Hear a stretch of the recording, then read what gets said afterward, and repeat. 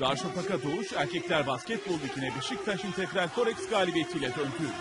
Darüşşafaka Ayhan Şahenk spor salonundaki maç öncesi Darüşşafaka'da basketbolun kurucusu olan Yalçın Grant'in 4 numaralı forması emekliye ayrıldı.